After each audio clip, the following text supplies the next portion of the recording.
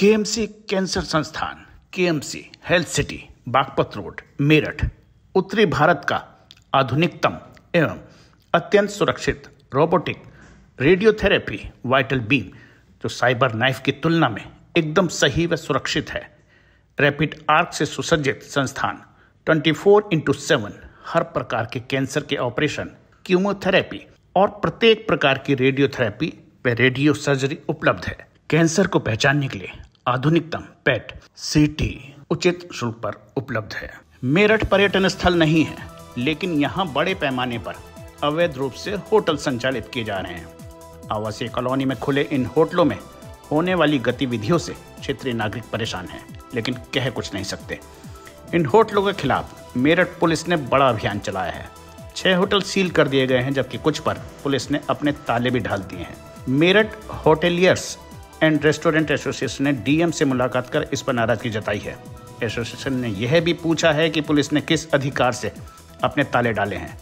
इसके अलावा, पुलिस औपचारिकता पूरा करने के नाम पर होटल मालिकों का आर्थिक व मानसिक उत्पीड़न कर रही है। इसके अलावा, छापेमारी में भी भेदभाव किया गया है। कुछ होटलों को निशाना बनाया गया, जबकि कुछ की तरफ़ देखा तक नहीं गया। बता दें कि इस अभियान में पुलिस ने तिरपन होटलों को बंद कराया जबकि छह सील कर दिए गए हैं। बीती रात जिन लोगों के ओयो होटल सील अथवा ताले डाले गए हैं उन्होंने एसएसपी से भी मुलाकात की थी। पहले देखिए छापेमारी की यह कार्रवाई।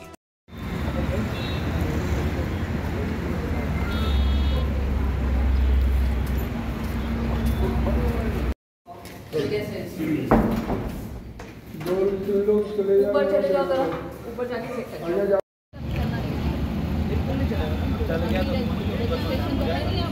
नहीं नहीं मैम रजिस्ट्रेशन पहले होगा मुझे नहीं पता बिल्डिंग मैंने अभी परचेज नहीं होटल होगा आज ही होगा। एक तेरह करके नहीं नहीं हटवा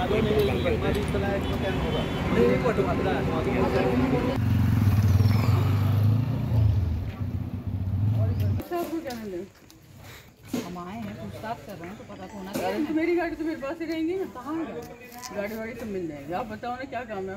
बता तो हम चेकिंग करने आ रहे रेसिडेंशियल एरिया में कमर्शियल तो प्रॉपर्टी आप कैसे थोड़ी है, तो के लिए है ना? और आप- वाले से बात करो? प्रॉपर्टी आपकी है ना? अब प्रॉपर्टी तब- मेरी है। किससे बात करेंगे? ओनर से ही तो बात करेंगे कि किसको किराया दिया? तो किराए से क्या हुआ मैडम? यहाँ तो इतने सारे हैं। कुछ हो रहा इतने सारे हैं सबकी चेकिंग हो गई।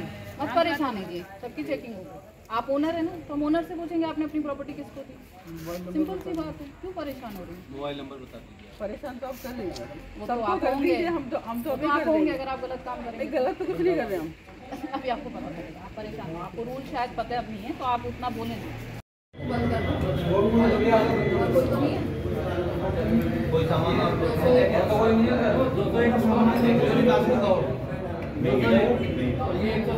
इस बारे में सीओ ब्रह्मपुरी सुचिता सिंह ने यह जानकारी दी थी। टीपी नगर थाना क्षेत्र अंतर्गत वेदव्यासपुरी चौकी है, जहाँ पे कई होटल हैं। इनसे लगातार शिकायतें प्राप्त हो रही थी कि जो रेसिडेंशियल एरिया में लोग रह रहे हैं, उनको परेशानी हो रही थी। इसी के अंतर्गत आज मेरे तथा एसीएम द्वारा यहाँ पे चेकिंग अभियान चलाया गया। इसमें कुल नौ होटलों को चेक किया गया, जिसमें मेन तौर पे ये चेक किया गया कि वो सराय एक्ट में रजिस्टर्ड हैं कि नहीं। उनकी सीसीटीवी फुटेज वो रखते हैं, एक महीने की नहीं रखते हैं। इसके अलावा पार्किंग की क्या व्यवस्था है? फायर एनओसी है कि नहीं? इलेक्ट्रिकल फिटिंग की एनओसी है कि नहीं? इन सभी बिंदुओं पे हम लोगों ने जाँच की और जो होटल ठीक नहीं पाए गए, उन्हें सील किया गया है। और बाकी होटलों के मालिकों को ओनर को मैनेजर्स को ये बताया गया है कि अपनी ये सारी गाइडलाइंस जो हैं, उनकी पूर्ति कर लें और पूर्ति करने के बाद ही होटलों का संचालन करें। भविष्य में भी लगातार इसी तरह का अभियान चलाया जाएगा और अगर इसमें कोई भी कमी पाई जाती है तो विधिक कार्रवाई की जाएगी। आज फ़र्स्ट बाइट और टीवी रिपोर्टर जिया ने कैमरा पर्सन अर्जुन संघ मेरठ एसोसिएशन के महामंत्री विपुल सिंघल से इस बारे में बात की है। देखिए। सर अभी कुछ होटल्स पे छापे पड़े हैं। इसमें आपका क्या कहना है? मेरा नाम विपुल सिंगल है महामंत्री Meerut hoteliers and restaurant association. अभी दो दिन पूर्व मेरठ पुलिस द्वारा मेरठ के विभिन्न होटल में हर एक थाना क्षेत्र में लगभग कहें तो पाँच से दस होटल पर छापेमारी की गई। वजह बताई गई उनसे कागज़ मांगे गए सराय एक्ट के पंजीकरण के, पुलिस द्वारा दी जाने वाली फायर एनओसी के व अन्य प्रकार के पंजीकरण के उनसे कागज़ मांगे गए, जो वह उपस्थित होकर वहाँ पर नहीं दे पाए, जिस कारण उन्हें सील किया गया। सील करने वालों में दो होटल सुनने में आ रहे हैं और कुछ होटल से उन्होंने ताला लगाकर जबरन ताली थाने द्वारा ले जाई गई है और होटल को बिना किसी कागज़ी कार्रवाई के उन्हें बंद कर दिया गया। इसके विरोध में हम जाकर के जिलाधिकारी महोदय से मिले थे। तो ऐसा भी कुछ सुनने कि वहाँ कोई अनैतिक कार्य हो रहे थे, ऐसा कुछ? अनैतिक कार्य कुछ होते ही नहीं है। अनैतिक कार्य होते हैं अगर आप किसी प्रकार से उनकी आईडी नहीं लेते हैं। किसी भी व्यक्ति को होटल में ठहरने की संपूर्ण आज़ादी है, कोई भी कानून उन्हें होटल में ठहरने से मना नहीं करता है। परेशानी है क्राइम की। क्राइम कब होता है? जब हम आईडी नहीं लेते हैं या किसी प्रकार की सीसीटीवी फुटेज नहीं होती है। आवश्यकता है होटल व्यवसायियों को जागरूक करने की कि वह अपने यहाँ पर सीसीटीवी कैमरा लगाएँ। जिसकी फुटेज वह 30 दिन तक स्टोर करके रखें और साथ ही अपना रजिस्टर पूरा रखें जिसमें आगंतुक जो भी कोई आने वाले गेस्ट हैं उनकी संपूर्ण डिटेल उसके अंदर हो और जो भी लोग ठहरे हुए हैं उनकी आईडी होटल द्वारा ली जाए। आप जिला अधिकारी से मिले उन्होंने क्या कहा इस पर? जिलाधिकारी महोदय के सामने हमने अपना विषय रखा कि सराय एक्ट का रजिस्ट्रेशन का पंजीकरण का विषय पुलिस का शायद नहीं है। फायर एनओसी, फायर विभाग देखता है, वह थाना नहीं देखता है, उसके लिए फायर पुलिस को जाना चाहिए था।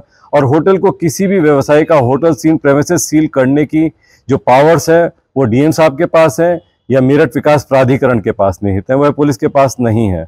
अगर उनके पास है तो वो केवल एक अपना नोट बनाकर डीएम को या मेरठ विकास प्राधिकरण को दे सकते हैं।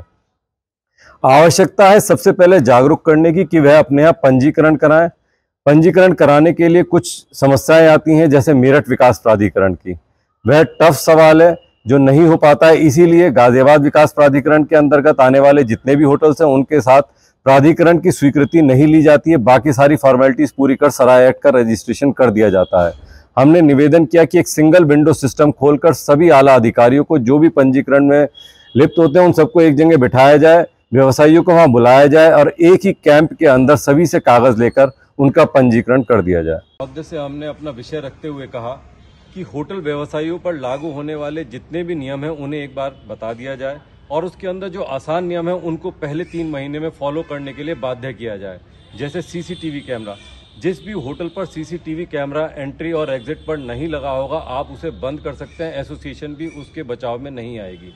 जो भी व्यक्ति अपना रजिस्टर पूरा नहीं करेगा, आगंतुकों की लिस्ट नहीं बनाएगा, या ठहरने वालों की आईडी अपने पास नहीं रखेगा, एसोसिएशन उनके साथ बिल्कुल नहीं खड़ी है।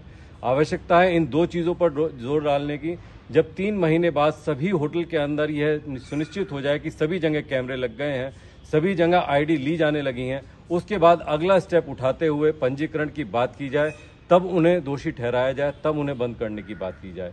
सबसे पहले प्रथम दृष्टिया वहाँ पर कैमरे लगने आईडी ली जाना और रजिस्टर पूर्ण करने का काम होना अवश्य है। इस खबर में फ़िलहाल इतना ही। आप देखते रहिए बाइट डॉट टीवी। नमस्कार।